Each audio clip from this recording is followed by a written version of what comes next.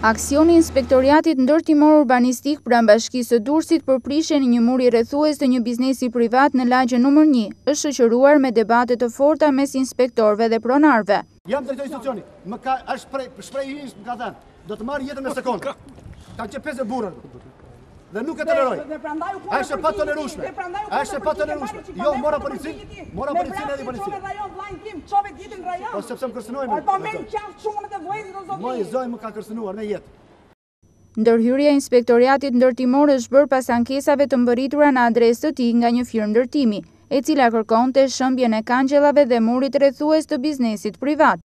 Drejtori i Inspektoriatit Ndërtimor Urbanistik Durrës, Artur Çela, pohon se ndërhyrja është përqendruar vetëm në prishjen e murit rrethues, për të cilin pronarët nuk disponojnë leje.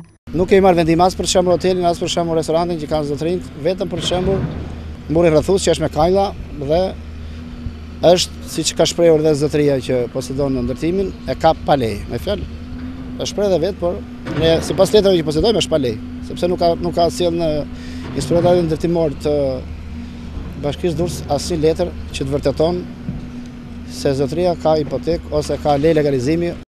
Por ndërhyrja e ndërtimorëve ka hasur në kundërshtimin e pronarëve, të cilët pretendojnë se janë në proces gjyqësor, duke e cilësuar si të paligjshëm aksionin e ndërmarrë.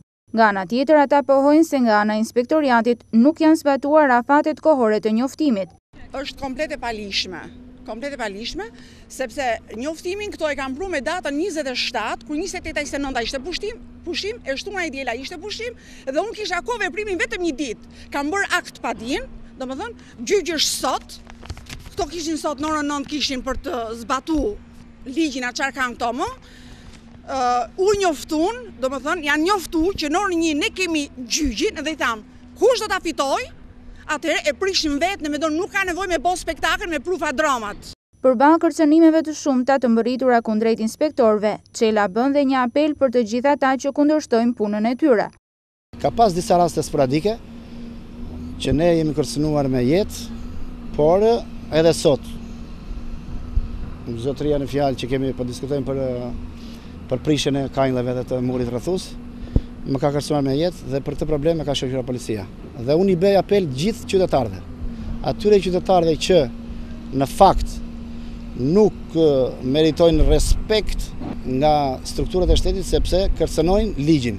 Kërcënojnë strukturat e shtetit, më kërcënojnë mua, kërcënojnë inspektorët tanë, kërcënojnë inspektorët e policisë bashkiake dhe si pasojë shoqërohen në polici. Gjatë ndërhyrjes për shembjen e murit rrethues, krahas inspektorëve të ndërtimores, kanë qenë prezent dhe efektivë të policisë bashkiake dhe të rendit. Këta të fundit kanë shoqëruar për në komisariat dhe një shtetas, nën akuzën e kundërshtimit për shkak të detyrës të inspektorëve të ndërtimores.